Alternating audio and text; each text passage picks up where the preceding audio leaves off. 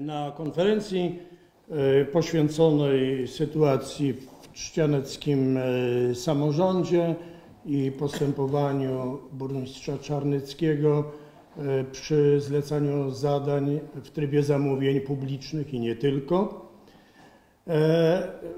Chcielibyśmy podzielić może naszą wypowiedź na dwie części. Pierwsza, i tutaj poproszę panią poseł Marię Małgorzatę Janyskę, żeby się odniosła do konferencji pana burmistrza i do artykułów, które ukazały się w prasie na ten temat. A potem ja bym powiedział o tym, co zapowiadaliśmy, ile z tego zrobiliśmy i co jeszcze zamierzamy w tych sprawach robić. Kończąc ten wstęp, chcę powiedzieć, że konferencja, którą na której informowaliśmy o tej sprawie, e, odbiła się bardzo szerokim echem w społeczności lokalnej. Ludzie e, zgłaszają się, ludzie proszą o dalsze działania i widać było, że te kwestie były przedmiotem zainteresowania opinii publicznej. Pani poseł, bardzo proszę e, o odniesienie się do e, odpowiedzi pana burmistrza i do artykułów medialnych. E, dzień dobry Państwu. No chcemy tutaj zadośćuczynić panu burmistrzowi, który zwrócił się do nas z apelem za pośrednictwem mediów, przynajmniej dwóch, które dostrzegliśmy, tygodnika noteckiego, gazety, która jest której redaktorem naczelnym jest y, sekretarz PiSu na region Pilski, a właścicielem zdaje się też radny i członek PiSu i za pośrednictwem tygodnika nowego. Y, pan burmistrz zaapelował do nas tak, jak gdyby nigdy sam nie był posłem, jak gdyby nie znał prawa i zasad dotyczących zrzekania się immunitetu. Y, I teraz trudno określić, czy naprawdę nie wie, czy znów czymś manipuluje. No ale w związku z tym, że się zwrócił do nas, żebyśmy e, zrzekli się z immunitetu z panem senatorem, a wtedy on będzie mógł dać sprawę do sądu, e, tak sugeruje, żebyśmy zachowali się honorowo, to wytłumaczymy panu burmistrzowi i opinii publicznej, bo nie wolno manipulować opinią publiczną, jak wygląda sprawa immunitetu. A więc, Szanowni Państwo, immunitetu można się zrzec wtedy, jeśli wpłynie wniosek o yy, odebranie tego immunitetu. Taki wniosek pan burmistrz może zrobić z dwóch tytułów. Albo z oskarżenia publicznego i wówczas składa się go za pośrednictwem prokuratora generalnego, albo też z oskarżenia prywatnego i wówczas składa to oskarżyciel prywatny po wniesieniu sprawy do sądu. My się nie możemy zrzekać czegoś, proszę Państwa, na zapas. Nie ma takiej instytucji prawnej, bo Skąd wiadomo, że pan burmistrz w ogóle wniesie cokolwiek, że będzie miał mm, argumenty, że będzie taką sprawę mm, y, ciągnął dalej? W tej chwili to jest takie, taka próba odepchnięcia się y, i y, jak gdyby wskazania na nas, że my jesteśmy czemuś winni, że w czcianeckim samorządzie jest sytuacja co najmniej niejasna, którą po prostu trzeba wyjaśnić. Jeśli pan burmistrz wniesie takie oskarżenia, to wtedy, proszę Państwa, marszałek Sejmu albo kieruje tą sprawę do odpowiednich organów i one ją wyjaśniają, przygotowują interpretację i ona jest przedstawiana na forum Sejmu, albo wtedy dopiero my się zrzekamy immunitetu. I to jest ten moment. Nie można się zrzec immunitetu bez wniosku do marszałka Sejmu w tej sprawie. A za pana burmistrza Czarneckiego tego wniosku nie spiszemy. Więc panie burmistrzu, jeśli pan coś mówi, to niech pan będzie konsekwentny i niech pan mówi prawdę. Kolejny temat, proszę Państwa, to yy, takie żale i pretensje, które właściwie tutaj pan redaktor zdaje się kieruje, bo ja nie wiem, czy ktoś tutaj panu redaktorowi, autorowi yy, artykułu w Tygodniku Noteckim y, zlecił napisanie tego artykułu, czy sam to wymyślił, ale zawsze warto być rzetelnym, ponieważ y, zarzuca się nam, że y, szkoda, że nie zainteresowaliśmy się czcianką w sposób, którego życzyliby sobie mieszkańcy bo w czasach, gdy rządziła nasza partia, nie pomogliśmy w realizacji żadnej e, poważnej inwestycji. Więc panie redaktorze, szanowni mieszkańcy, Panie redaktorze, szanowni mieszkańcy, podam, podam tylko kilka przykładów, bo y, całą listę można sobie oczywiście z Urzędu Miasta wydobyć. Październik 2013 w sali sesyjnej Czcianeckiego Ratusza oficjalne parafowanie przez burmistrza Czcianki y, projektu z inicjatywy Jessica termomodernizacja szkoły podstawowej nr 2 i gimnazjum nr 2 w Czciance i na Facebooku yy, miejskim Czcianki można napisać, że w spotkaniu uczestniczyli również posłanka na Sejm RP Maria Janyska, która w dużym stopniu przyczyniła się do uzyskania przez gminę tej pożyczki i Tomasz Bugajski, który przybył jako przedstawiciel Zarządu Województwa Wielkopolskiego, czyli instytucji zarządzającej yy, środkami. Yy, Proszę Państwa, maj 2015 rozpoczął się bardzo poważny temat, który został e, zakończony i podpisany w lutym 2016 roku. Pilski Obszar Strategicznej Interwencji 27 milionów euro na gminy Piła, Kaczory, Krajenka, Szydłowo, Czcianka, Ujście, Wysoka na poprawę komunikacyjną, komunikację między miastami, na budowę siatki połączeń, e, na ograniczenia ruchu w centrach miast, również na sprawy społeczne. Tabela, można się zapoznać, które gminy w jakim zakresie z czego korzystają. Wielki projekt, który jest w ramach mandatu terytorialnego przez marszałka województwa, został podpisany z przedstawicielami tych gmin i który jest y, w trybie pozakonkurskowym. To bardzo, to bardzo, to bardzo Był Pan ważne. na kilku konferencjach, na których występowałem razem z prezydentem e, o specjalne potraktowanie e, Piły i subregionu i wie Pan, że staraliśmy się o ten program, który jest wyjątkowy. Jest to nasz, jest to nasz wspólny sukces, dotyczy Czcian. Panie, panie redaktorze, panie redaktorze, pan jest y, jakiś taki dosyć chyba zdenerwowany. Y, wie pan co, y, to tak troszeczkę ta rozmowa będzie i ta konferencja dziwna, jeśli nie pozwoli pan skończyć zdania, spokojnie pan poczekaj, pan zapyta i na wszystkie pytania panu odpowiemy. Ale to pan napisał, ale to pan, ale widzi pan, ale widzicie, szanowni państwo, jesteście świadkiem właśnie rzetelności dziennikarskiej. Y, Pan dziennikarz nie chce poczekać, y, nie chce zadać pytania, podsumować, tylko co dwa wyrazy próbuje się wbić i przerywa, bo nie ma argumentów. O, słyszycie Państwo? Słyszycie Państwo wszystkie kłamstwa? Czyje kłamstwa? Pan zarzuca nam Czyje kłamstwa? Pan nam zarzuca kłamstwa? Ależ proszę Pana, Pan sobie nie musi teraz zapamiętywać tego. Pan pięknie sobie to odsłucha i jeśli było jakiekolwiek kłamstwo, tak, to Pan je udowodni. To Pan je udowodni. Natomiast ja w tej chwili yy, chcę Państwu przekazać nieścisłości i nierzetelność dziennikarską, która zaistniała w tym yy, artykule. Kolejna, proszę Państwa, temat za 25 milionów. Wybudowano w Czciance jako jednej z 68 gmin w Polsce powstała pierwsza, jedna z pierwszych i największa y, y, sieć szerokopasmowa, która udostępniła wszystkim mieszkańcom dostęp do internetu. Było w Polsce takich białych plam trochę.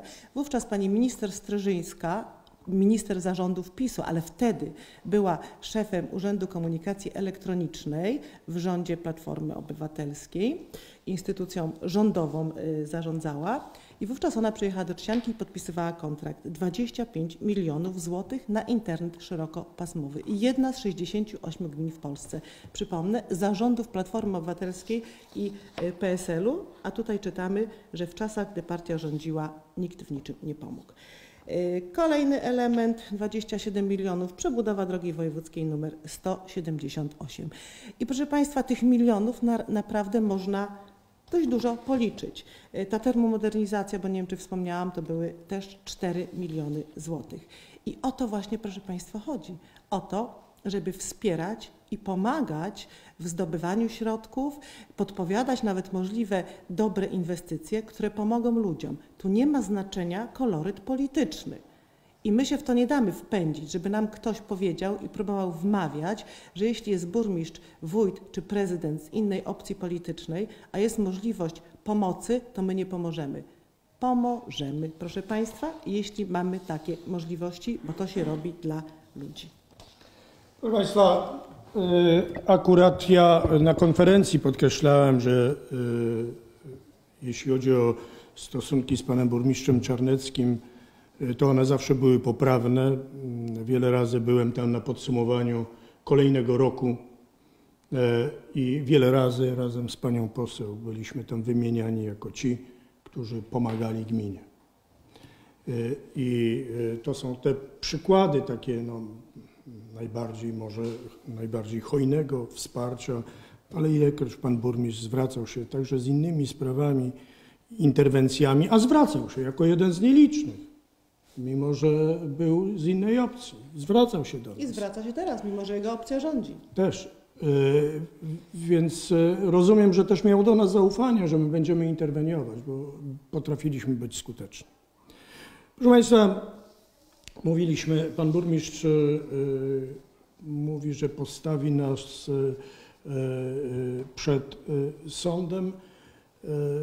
Proszę bardzo, proszę bardzo, jeżeli parlamentarzysta miałby odpowiadać za to, że zadaje pytania i że chce wiedzieć, czy postępowanie jest zgodne z prawem, za to miałby być sądzony, to, to oczywiście byłoby to może dziwne, ale można próbować.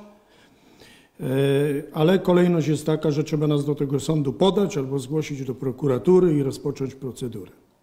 Myśmy natomiast obiecywali, jak pan burmistrz chce, żeby ta sprawa sądownie była rozstrzygnięta na jego korzyść, może, E, to proszę bardzo, e, chciałem Państwu, Państwa poinformować, Pana Burmistrza również, że 17 sierpnia, więc wkrótce po konferencji, wystąpiliśmy do prokuratury e, z powiadomieniem o tym, co się dzieje w Czciance, z wątpliwościami, które mamy. Tym bardziej, że od tego czasu doszły jeszcze kolejne kwestie, które również niepokoją, że prezes spółki, o której mówimy, spółki Bacheko, gdzie współudziałowcem jest córka pana Czarneckiego, wcześniej on sam, występuje w niektórych inwestycjach gminnych jako kosztorysant, projektant, pełnomocnik gminy w sprawie planowanych robów itd. E, Ludzie y, dzwonią do nas, informują, prosimy, żeby odpowiednie powołane do tego organy sprawdziły to, bo gdyby tak się działo, mogłoby to oznaczać naruszenie przepisów ustawy o zamówieniach publicznych, żeby przygotowanie inwestycji było w rękach osób bezstronnych, a nie tych, którzy startują w tym samym albo w innym przetargu w tej samej instytucji. E, Oczywiście opinię publiczną y, i także media interesuje, jaka skala tych, y, tych wszystkich spraw była. No, część rzeczy wiemy z biuletynu zamówień publicznych i to nie są małe pieniądze, Y, a innych jeszcze nie wiemy, więc y, wystąpiliśmy do pana burmistrza Krzysztofa Czarneckiego. Liczymy na to, że dostaniemy szczegółową odpowiedź co do zakresu tych przetargów, ich wartości, czy dotyczyły one tylko tych zleconych rzeczy, czy też może spółki miejskie też zlecały już poza y, tym systemem, czy też w systemie pozaprzetargowym były zlecane, czy ta spółka brała udział y, czy jako podwykonawca w realizacji zadań miejskich. Y, To wszystko chcemy wiedzieć, chcemy poznać wartości, bo oczywiście tak bezpośrednio to chodzi o co najmniej prawdopodobnie o 3,5 miliona złotych, ale prawdopodobnie o więcej. Pytamy oczywiście o te inne kwestie, które też tutaj poruszaliśmy, dotyczące planów zagospodarowania y, przestrzennego. Y, Jak dostaniemy odpowiedź, y, będziemy y, podejmować dalsze działania, przede wszystkim to, które zapowiadaliśmy. Proszę Państwa, y, tym, czy coś jest zgodne z prawem, czy nie, powinny się zająć odpowiednie do tego organy.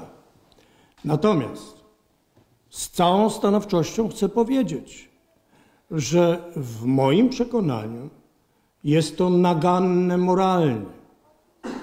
Tak nie powinno być. Co by się działo, gdyby, nie wiem, burmistrz Chodzieży czy prezydent Piły zlecał firmie, w której e, e, udziały, e, a, a wcześniej kierownictwo miał sam zainteresowany na miliony złotych, no przecież Państwo byście huczeli w mediach, powiadamiali, krzyczeli, mówili, że niezależnie od wszystkiego to jest moralnie niedopuszczalne. Dlatego po pierwsze, dotrzymamy słowa i będziemy powiadamiać władze partyjne Prawa i Sprawiedliwości, że takie rzeczy tutaj się dzieją, bo być może nie wszyscy w partii wiedzą, że funkcjonariusz tej partii tak właśnie postępuje. Partii, która ma w nazwie Prawo i Sprawiedliwość, która głosiła transparentność, która głosi, że wszystko chce zrobić dla innych bezinteresownie i tak dalej, niech oni ocenią, czy tak to powinno wyglądać, czy tak to wygląda jawność, czy tak wygląda uczciwość, czy tak to powinno być. Y, Wydaje mi się, że, y, że pan burmistrz, y, którego za wiele rzeczy należy pochwalić i który zawsze podkreślam to, jak wtedy, tak i teraz, zawsze zachowywał się w porządku, to pierwsza rzecz, którą powinien zrobić, do tego go wzywam. Proszę natychmiast zaprzestać takich praktyk. Proszę przerwać to. To jest pierwsza rzecz, którą należy zrobić. Niezależnie od tego, czy da się wyinterpretować, że to mieści się w granicach prawa, czy nie, w moim przekonaniu, myślę, panie burmistrzu, to jest chyba bezsporne, zwracam się do pana personalnie, że jest to moralnie niewłaściwe i trzeba to skończyć. To jest co najmniej błąd, jeśli nie dużo więcej. Także, e, proszę Państwa, e, nieznane mi są podobne przypadki w innych samorządach. To jest stanowczo za daleko. Myślę, że gdybyśmy tutaj zebrali wójtów, burmistrzów i powiedzieli im, czy próbowaliby, czy odważyliby się na takie postępowanie, odpowiedź byłaby jednoznaczna. Nigdy w życiu. Więc mówienie, że, że wszystko jest ok, jest chyba y, jednak y, niewłaściwe.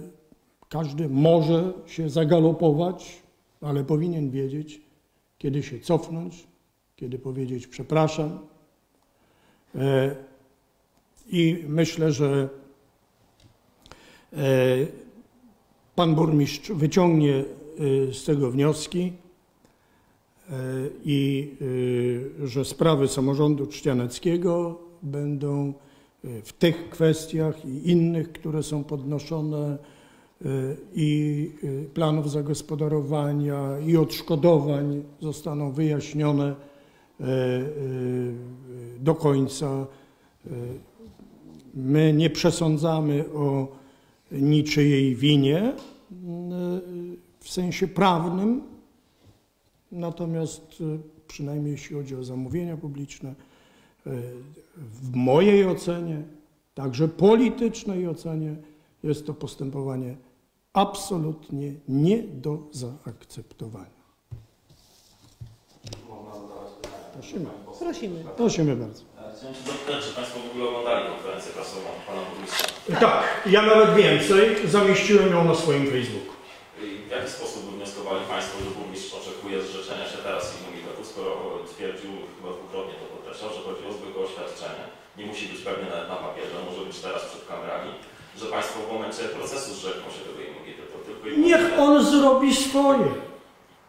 Niech on zrobi swoje, nie oczekuje od nas żadnych oświadczeń. No proszę pana. To no. pan zdaje się Przecież to nie my y, jesteśmy posądzani o cokolwiek, tak? Nie my zlecamy swoim rodzinom, żebyśmy mieli oświadczać coś na zapas. A widzieli Państwo fragment, w którym z kolei burmistrz przedstawił oświadczenie chyba z e, którego wynika podpisane przez księgową, z którego wynika, że jego córka nie osiągnęła ani złotówki zysku, nie miała żadnej umowy. Tak, komercyjnej. tak, tak, I tak. Wie nie pan, zmienia państwa poglądu nie, wie pan, nie zmienia poglądów, dlatego że, dlatego że Trafne E, pytanie. Bardzo dobre pytanie, dobrze, że Pan je zadał. Z przyjemnością odpowiemy i myślę, że wzbogacimy tym też e, w ten sposób także Pana wiedzę ekonomiczną i wiedzę o działalności e, e, spółek prawa handlowego. E, To, że ktoś nie pobiera wynagrodzenia, proszę Pana, to absolutnie nie świadczy i nie jest zatrudniony, to absolutnie nie świadczy o tym, że ma e, z tego korzyści. E, Ponieważ każda e, wykonana praca, która jest zapłacona do firmy w ramach kontraktu, ona zwiększa wartość majątku tej firmy. Jeśli na koniec roku obrachunkowego dywidenda, która jest wyliczana z podziału z- zysku do podziału, nie jest, nie trafia do kieszeni właścicieli, bo to oni decydują o tym, co się dzieje z tą dywidendą, czy tę dywidendę biorą sobie jako wynagrodzenie i ona jest znów opodatkowana, czy przeznaczają ją na e, działalność spółki na cele inwestycyjne. To oni o tym decydują, ale jeśli tak przeznaczają, to rośnie wartość majątku spółki, czyli rośnie wartość każdego udziału, który posiada udziałowiec. Mało tego, przepisy są również w tej materii dość ścisłe i określają po jakim czasie, ile przez ile lat można nie skorzystać z wypłacenia dywidendy, a po jakim czasie trzeba to po prostu zrobić. Więc może się okazać tak, że po paru latach, jak pan burmistrz już nie będzie burmistrzem, znów przepisze, jak to powiedział, przepisał udziały na córkę, córka przepisze na niego, wraca do firmy, która ma wartość majątku, taką, a nie inną, również dzięki temu, że dostała ta firma zlecenia y, z gminy, w której był burmistrzem.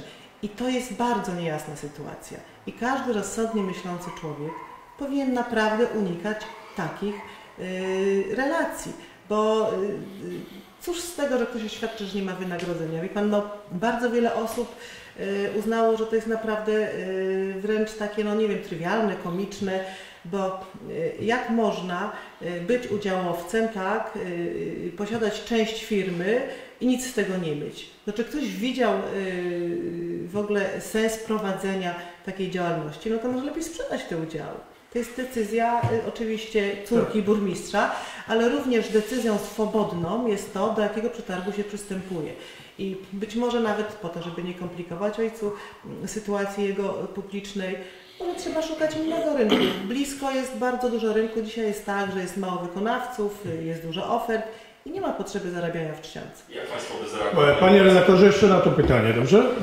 Zanim następne. Czy widzicie Państwo naprawdę dużą różnicę w tym, że ja nie, nie wziąłem nic do kieszeni, a moja firma za to się wzbogaciła? To jest duża różnica?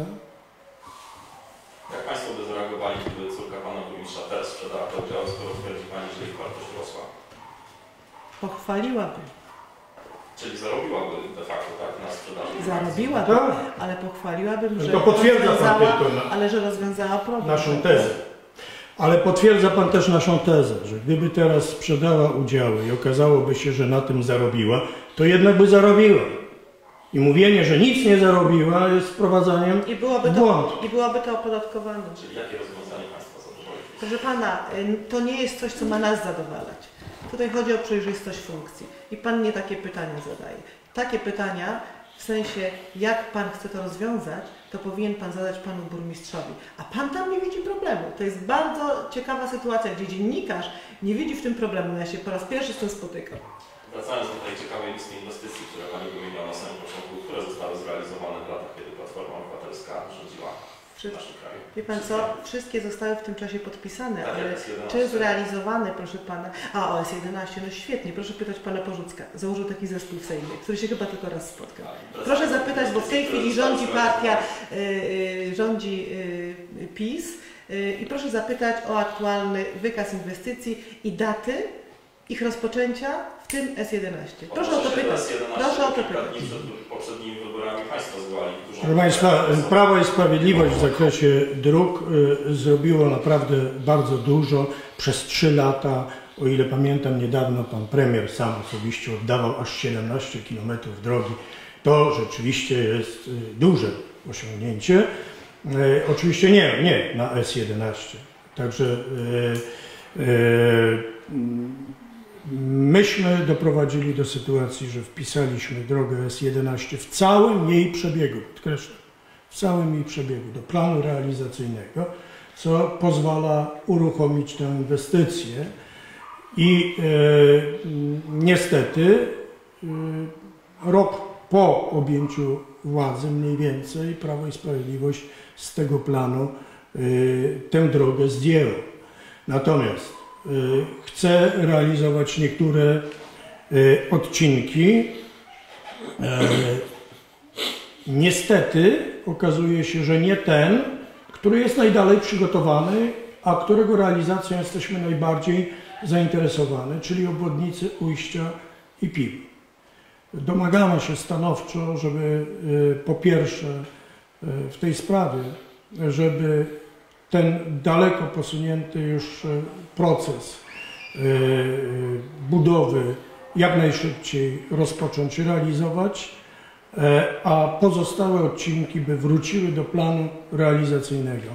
Mówiono o milionach złotych, które zostały skierowane na e, budowę dodatkowych dróg i podkreślmy to, one nie trafiają na drogę S11.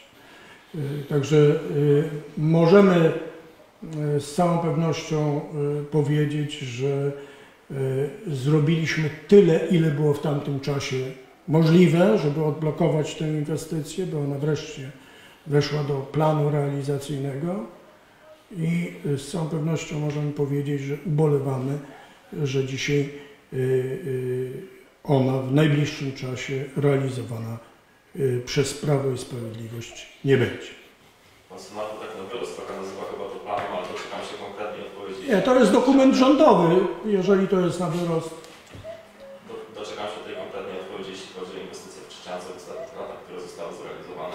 Realizacją zajmuje się pan burmistrz. Proszę jego pytać. My staraliśmy. Przetargi, które staraliśmy- firma córki. Znaczy, chyba pan nie oczekuje, że my, e, że my zajmiemy się realizacją inwestycji w gminie Czcianka, a środki e, pani poseł przytoczyła. Środki zostały przez kierowane przez Platformę Obywatelską i PSL instytucje regionalne i krajowe, zagwarantowane umowy podpisane.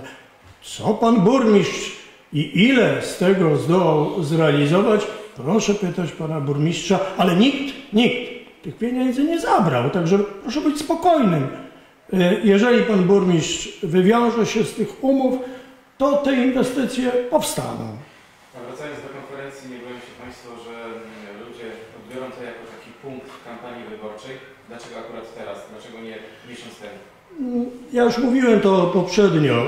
Pierwsze pismo w tej sprawie do pana burmistrza wystosowałem kilka miesięcy wcześniej i byłem nawet skłonny przyjąć do wiadomości jego wyjaśnienia, które były mniej więcej tożsame z tym, co prezentował na konferencji. Natomiast później miałem kolejne wizyty osób z terenu Czcianki, y, które twierdziły, że y, sprawa jest o wiele poważniejsza, że chodzi o dużo większą liczbę zleceń, na dużo wyższe kwoty y, i uświadamiały wagę problemu. Później mieliśmy spotkanie w ramach z panem posłem Halickim na terenie Czcianki. Zgłosiły się osoby tam ponownie z tymi samymi problemami. Uznaliśmy, że sprawa musi jednak podlegać e, e, dokładniejszemu e, wyświetleniu. Czy to będzie miało jakiś wpływ wyborczy? Nie wiem. Czasem ma to wpływ pozytywny, czasem negatywny. Jeżeli pan burmistrz, że tak powiem, usprawiedliwi się przed odpowiednimi organami i zyska poparcie e, e, swojej partii w tym działaniu i zyska poparcie społeczności lokalnej, będziemy mu gratulować kolejnej kadencji. E, Ale z tego powodu, że są wybory, to pan uważa, że nie powinniśmy tego podnosić? No bo taka byłaby teza przeciwna, że my nie reagujemy na to, co ludzie mówią, co piszą, bo ja nigdy nie, nie godzę się na to, żeby, żeby zgłoszenie było e, tylko słowne, E, czy też jednak reagujemy. No, reagujemy. Dziękujemy, jeśli nie ma więcej pytań. Dziękuję bardzo.